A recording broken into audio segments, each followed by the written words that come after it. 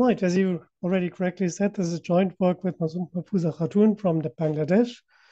And uh, the, the motivation behind our joint work is the, the problem of clustering. In the field of applied statistics, clustering means dividing a set of entities into groups based on mutual similarity.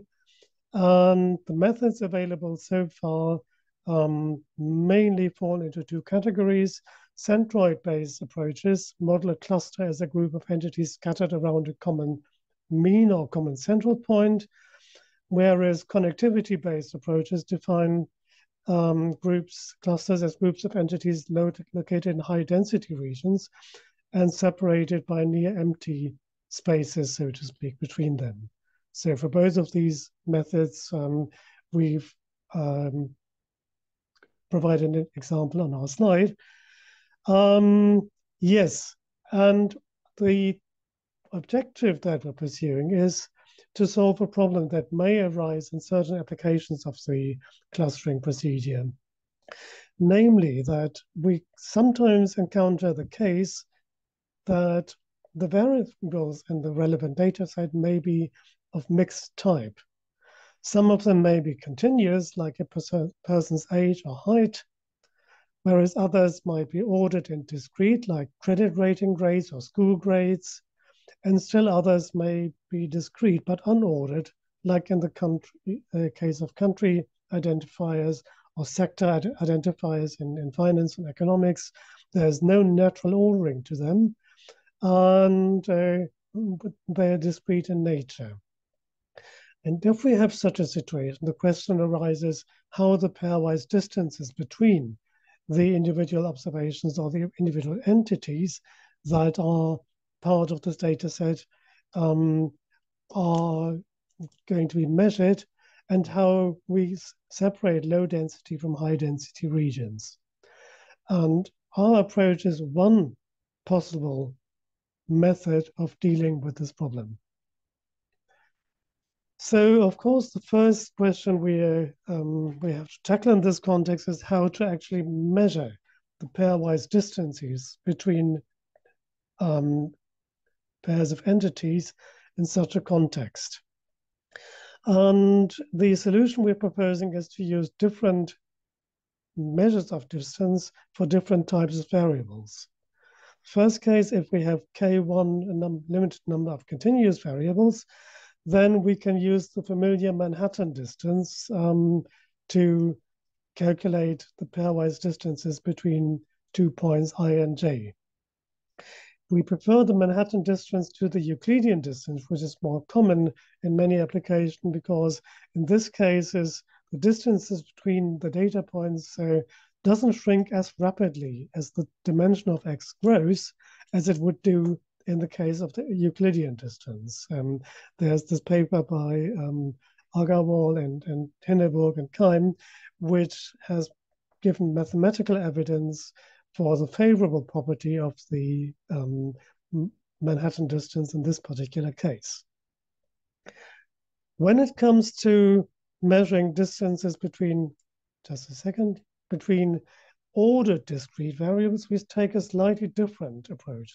Once again, if we have a natural ordering for, for, the, um, for the variables involved, we code encode them as, as integer numbers um, ranging from one to um, a maximum number capital S. And then we take the absolute difference between the two variables um, in, involved and divide it by the total number of possible realizations um, of this variable. Um, and the underlying assumption is that the observable ordered discrete variables are um, observable counterparts of a latent variable, and um, the that that that um, variable um, takes a certain value b if the latent variable falls into a bin, uh, um, which is uh, um, um, given as given below, And the distance between the midpoints, midpoints of two neighboring subintervals, two neighboring bins, so to speak, in this ordering is equal to one over the number of possible um, realizations, which then gives rise to the normalization here, presented here. Still a different approach um, has to be used when de dealing with unordered discrete variables. Here, we take an indicator function um, which shows us whether or not the two realizations of this variable, the variable under investigation, um, differs or whether it equals. And uh, if, if, if the two realizations of the variable for two um, for a pair of observation is equal, then this this contribution to the overall distance is set to zero. If it does not equal, then it would be um, set to one over the number of possible realizations um, that this particular variable can have. What this implies is that the difference between pairs of entities um, shrinks as the number of possible um, realizations of the variable increases. And the intuition behind this is that the finer the classification scheme um, becomes, the lower the average and numbers of entities per group is going to be, and the less certain we can be that the differences between the different entities that we actually observe are simply a manifestation of random noise rather than anything systematic um, that um, any, any systematic factor at work here. So having defined the distance measures as, uh, as shown before, in order, in order to arrive at the overall pairwise distance between two entities, i and j, we simply add up these two um, variable-specific distance measures to come up with a, um, a sum, which then is the overall pairwise distance between entities i and j. The next step that we have to explain is the definition of the clustering, uh, description of the clustering procedure. And in order to arrive at, at this uh, point, we have to define the adjacency set of an entity. So let us assume that we have um, a limited integer number j, which is below the sample size. Um, and uh, then the first step would be to calculate for each entity in the sample the distance between the entity itself and each of its remaining neighboring entities, so to speak, in, in the data set. And to sort the results of this calculation in uh, increasing order. And the, then once we have uh, performed this step, we can define for each entity um, the adjacency set as the totality, as the set of entities which is um, uh, for which this distance measure is less than or equal to distance from the g's closest neighbors. You will be familiar with the k nearest neighbor uh, method in, in non-parametric statistics. This is something very similar here. We fix a given number g, and we define the adjacency set of um, observation number i as the set of all observations in the sample that are in a distance of in distance of less than delta ig from this particular observation. So this is how we arrive at the adjacency set. We can perform this step, and we must perform this step for every entity, each and every entity in the sample. And once we've done that, we can introduce the concept of a shared neighborhood. Um, so we assume, or we say that, that if we have two entities, I and J, and they are um, they are mutually interlinked, um, if there is an overlap between the adjacency sets um, of these two variables. But if they are so distant from each other that the and the intersection of the adjacency set is an empty set, then we say these two entities are not mutually interlinked. And there's no linkage, so to speak, between the two, no connection between the two. Right. So once we have um, we have uh, defined what we mean by the adjacency set, then of course um, we have to uh, come up with an algorithm or with a, a series of, of calculational steps by which we actually form the clusters.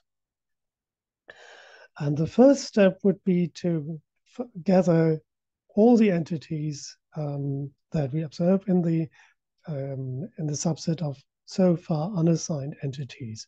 The starting point is we haven't any assigned any observation to any cluster whatsoever. Then we begin with the first cluster, and we can start with a randomly chosen element uh, from uh, from the observation set and um, identify all the um, all the observations in the sample, um, which have not yet been assigned to a cluster, and which are, which are within the adjacency set of this first observation, which is, so to speak, the starting point of the first cluster. And all the observations that are within the adjacency set, where there's this overlap um, between the, the neighborhoods, they are assigned to the same cluster as observation one. Once this has been accomplished, we can um, we can then search the dataset um, for further observations that lie in the adjacent set of any one of the um, any one of the um, observations assigned to cluster one so far. So we run through the observations one by one, the observations and the and the proto cluster, so to speak, um, number one, one by one. And for each of them, we we test whether there's there's an overlap with the remaining observations.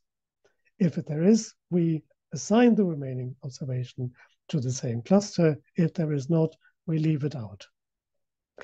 If we do that, we will finally arrive at a point where we cannot grow the cluster number one any further. Then we increase the cluster number by one um, and perform the same procedure for cluster number two, and so forth until, until every observation has been assigned. So the the verbal description of the procedure here um, in form of pseudocode is inside the paper, and I'd be more than happy to provide you with uh, um, the, the, slide deck if you want want me to. Um, but this is essentially how it works. And um, we've implemented the procedure and the programming language Gauss by Aptech Systems, this matrix programming language, um, and it's available via Google Drive. Uh, together with the data sets we're using it and the slide deck I'm presenting, I'm presenting. So hopefully you will you'll be able to download it. If not, please give me um, a hint so that I can provide it to you via email. So this is where, where it is located, and hopefully when you open up um, this directory, it will look like this. There's the raw data files um, in text format and the clustering procedure with a lot of comments um, uh, in the final um, .prg program file um, in the directory. So there's one question I've left out so far, and this is the question, well, how could we choose this magic number G, this number of neighboring entities by which we decide whether or not um, an observation is assigned to a cluster? And here we have a problem because if we take um, a very small value of G, let's say one or two, um, we'll have a situation where all the most or all the objects will be assigned to a degenerate cluster comprising only one object. Then on the other hand, if we increase G2 so far, we will arrive at a situation, we will change the situation where um, all the observations are assigned to the same cluster, which intuitively doesn't make much sense. So we try to formalize our decision, this trade-off in, in, in the form uh, of the trade-off between two objectives, which is on one hand, we want the observations within a cluster to be as homogeneous and as close to each other as possible. And on the other hand, we want the clustering procedure overall to be inclusive so that the number of entities not assigned to a valid cluster becomes as small as possible. So um, we define a minimum cluster size. We define um, the the index number of a class to which object i has been assigned, and uh, we define uh, NCI, the number of objects in that cluster. And then we calculate two quantities across the entire sample. First of all, the average distance between each object and its closest neighbor within the cluster. And secondly, the average distance between each observation and its closest neighbor outside the cluster. So these two separate expressions we calculate for each and every observation in the sample. And if we say that, uh, well, we want the, the cluster to be, we want the discrepancy between the closest neighbor outside the cluster and the closest neighbor inside the cluster to be as large as possible, one of the way of, of achieving is, is of, to, to add up the, the, um, the ratio of these two quantities across or to average the ratio between these two quantities across the entire sample, um, and to, to make sure that this becomes as large as possible. So it's a trade-off between inclusiveness and um, uh, mutual similarity within the cluster. And this is one of the way, not the only way, of course, but one of way, the way in which we could formalize this decision problem. Um, right, we first of all, in order to get an intuitive feel about how this works, um, uh, apply this procedure to a number of rather simple examples in two-dimensional space with only um, continuous variables involved.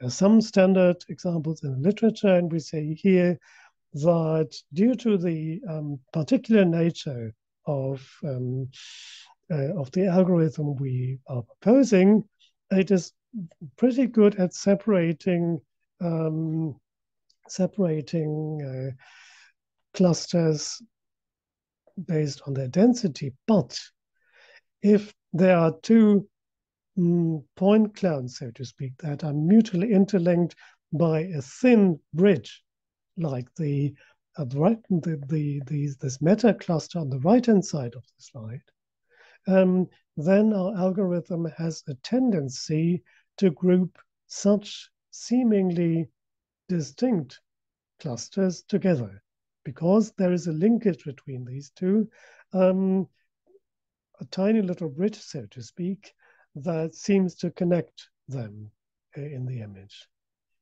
And the same would apply in this case to cluster number one, intuitively we would say, all right, th th this must be two clusters linked by a small bridge, but the very existence of this thin bridge between the two causes them to end up uh, in the same cluster.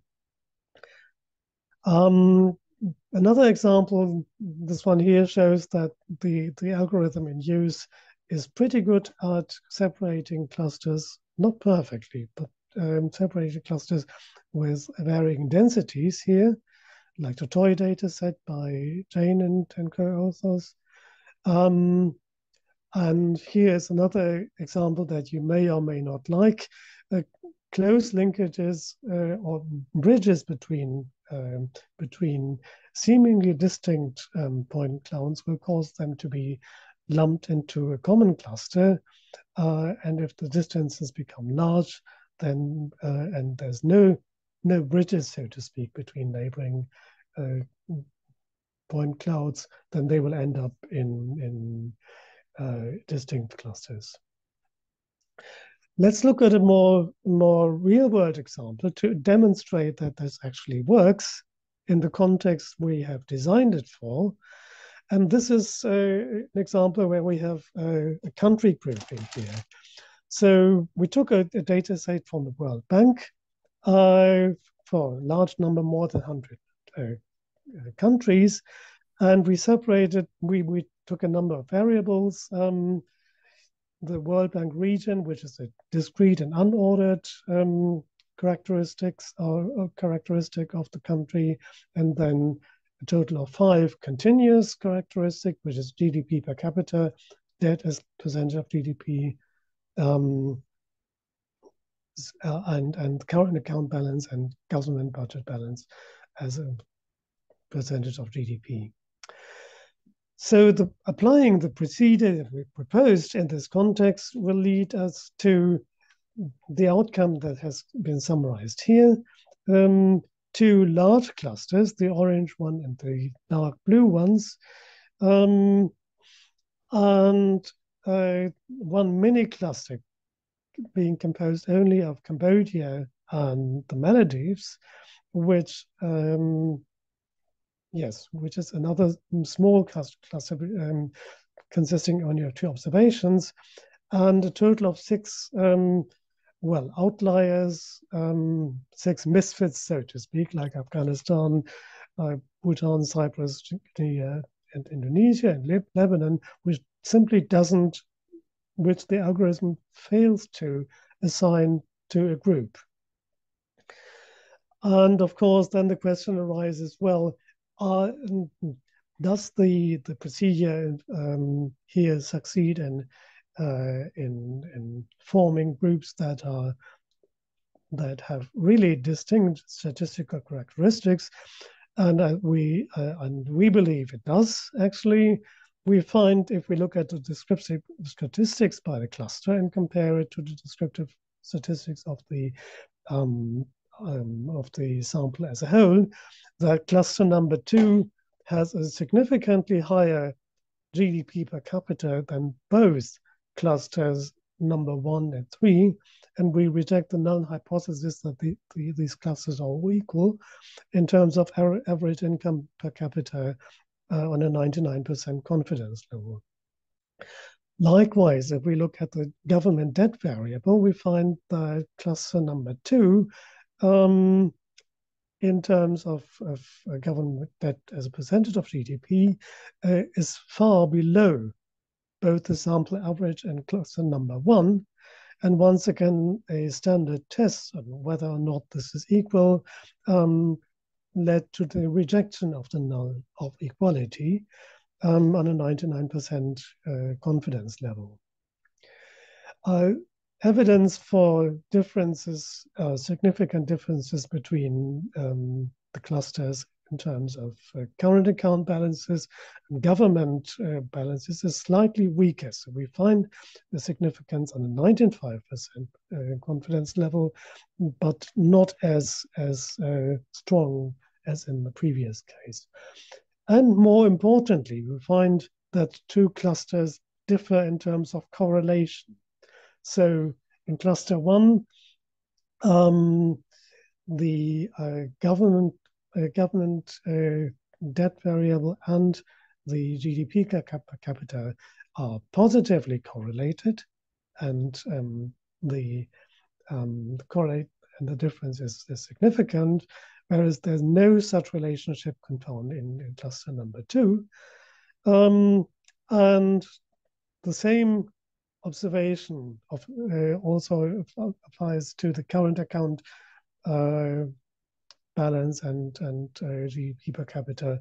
Once again, significant differences in the degree of correlation between these two quantities in the in the cluster. So first of all, we, we can say, of course, that a procedure can succeed in finding and identifying groups of uh, observations that have significant statistical difference in their in, in their characteristics um, in a real world context. But of course, there are some unresolved problems. we still have the the um, the issue of the curse of dimensionality. even in this particular context, if we use our particular test measure, if the numbers of variables under investigation increases, then the pairwise dis differences in the pairwise distances are going to shrink to something that's very close to zero. Uh, and this problem cannot be resolved um, by our method. And of course, the possibility that there are some some uh, variables in the data set that are simply not relevant for any grouping. This possibility is just a real world issue that cannot be resolved by this approach we're, um, um, we're applying. So this is not one method fits all problem. There are some problems left uh, for which, for the solution of which um, other methods will have to be applied. But for a practitioner, I hope and I, I, believe to a certain extent that for a practitioner, what we've presented here could be of some use. Many thanks so far for your um, your attention to this talk. Greatly appreciate that. And I think I'd leave the remaining couple of minutes for some questions that you may have. Would that be all right with you?